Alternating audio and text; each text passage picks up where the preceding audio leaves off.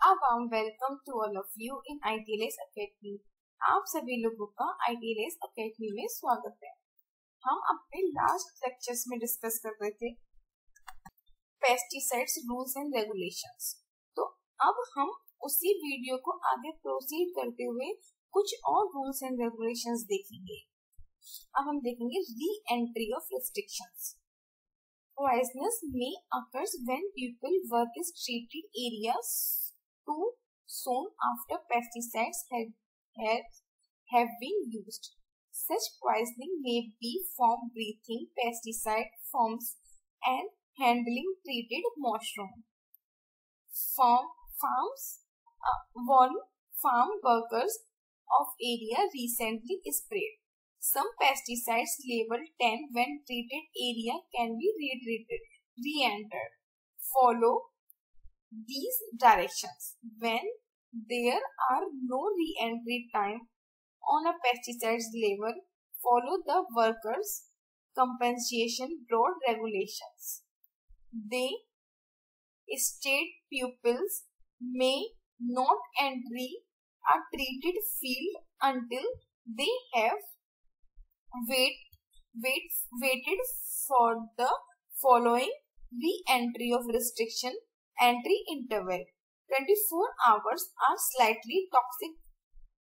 24 hours uh, 24 hours for slightly toxic pesticides. 48 hours for moderate and very toxic pesticides. If a person need to need to enter a treated area before re-entry the period is over wearing the protective wearing the protective gear Farmers must post a sign to tell workers when they can enter the area.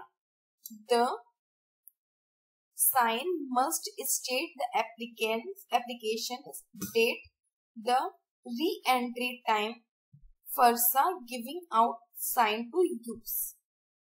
देखिए जितने भी हम science मतलब जो भी हमारा poisonous area है उसको आपको एंटर करना है, उसमें उसमें ट्रीट कराना है, या आपको कुछ भी करना है तो वहाँ पे आपके लिए तो री एंट्री अगर कोई भी कोई भी वर्कर्स है, किसी में, कोई भी वर्कर उस एरिया में यूज़ अंदर जा रहा है तो हमें प्रॉपर तरीके से उसकी एंट्री करानी चाहिए, उसे प्रॉपर तरीके से साइन कराना चाहिए. इसके अलावा ट्वेंटी फोर आवर्स हमें स्लाइटली टॉक्सिक अगर हमने कोई स्लाइटली टॉक्सिक पेस्टिसाइड यूज़ किया है तो हमें एटलीस्ट ट्वेंटी फोर आवर्स तक उसमें नहीं जाना चाहिए। इसके अलावा अगर कोई वेरी टॉक्सिक है या मॉडरेट है तो हमें फोर्टी एट आवर्स चाहिए उसके लिए। आ, उसके फोर्टी एट आवर्स तक हमें उस क्रॉप के पास इसके अलावा अगर हम जब भी जाएँ तो हम प्रॉपर तरीके से उसे अपनी रजिस्टर में एंट्री वगैरह करके जाएँ। इसके अलावा जितने भी रूल्स एंड रेगुलेशन प्रोपोर्शन है, उनको सबका हमें ध्यान रखना चाहिए। नेक्स्ट है grazing restriction if animals are graze a treated area, check the pesticides label for gazing restriction. Wait the requirement time for gazing. Harvesting gazing area में जो भी एनिमल्स वगैरह है, उन सबकी रिस्ट्रिक्शन होना चाहिए। तो इसमें कोई भी एनिमल्स वगैरह एंट्री ना कर पाए, इसके लिए हमें प्रॉपर तरीके से उसकी चेकिंग भी कर देनी चाहिए time to time harvesting pesticides. Wait the pre-harvesting interval time to harvest before harvesting to avoid illegal pesticides residue on crop. Pre-harvest interval are on label.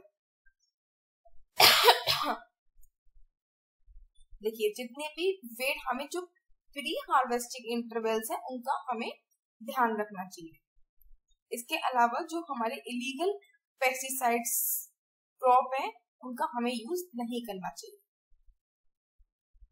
और जो भी हमारा pre pre inter pre harvesting interval होगा, हमें उसे proper तरीके से level करना चाहिए। Next special environment professions buffer zone many pesters labour ना अब हम बात करते हैं स्प्लाइस स्प्लाइसिंग क्या है? Keep wild standard away do not eat do not eat smoke and drying during cleanup, work unwiped of the spiles, contain the spiles surrounding and cover the absorbent material, clean up the spiles, decontaminated the area using the bleaching and detergent, absorb the excess light and absorbent material. Put the absorbent material in a special water container and seal it.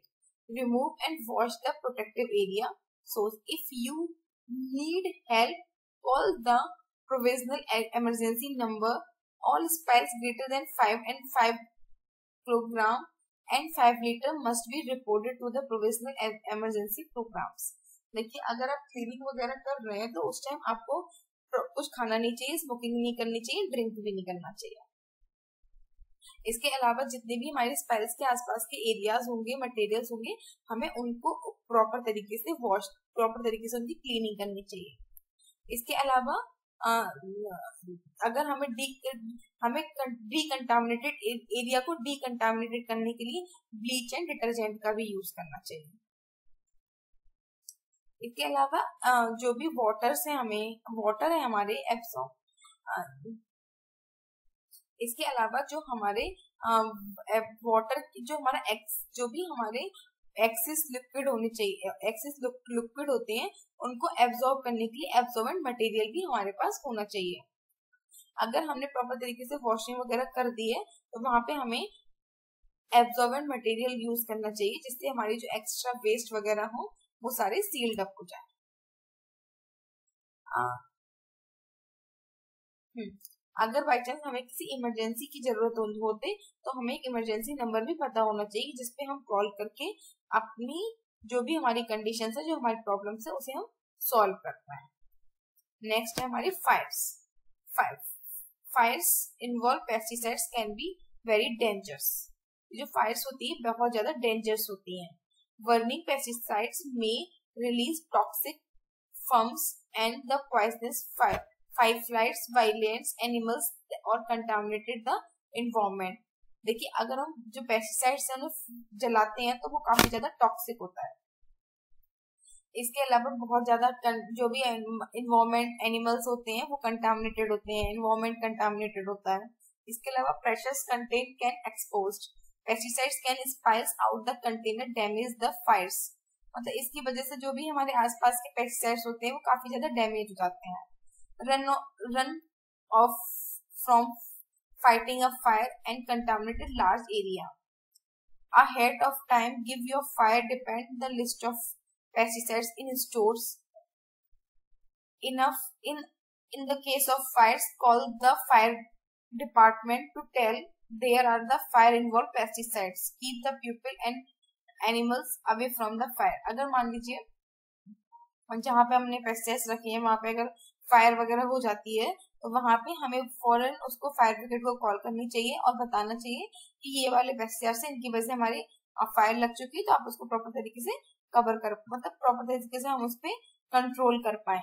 इसके अलावा जब fire लग fire लगी हुई तो वहाँ पे हमें और जो पीपल्स और एनिमल्स होते हैं, उन्हें उससे दूर रखना चाहिए। तो ये हमारे कुछ रूल्स एंड रेगुलेशन है, जिनको हमें फॉलो करना चाहिए। Please follow I T race academy on Instagram Facebook, Twitter, YouTube, WhatsApp, LinkedIn and also get it on Google Play Store. Thank you so much for watching my video. Please like, share and subscribe ITLS Academy. Thank you.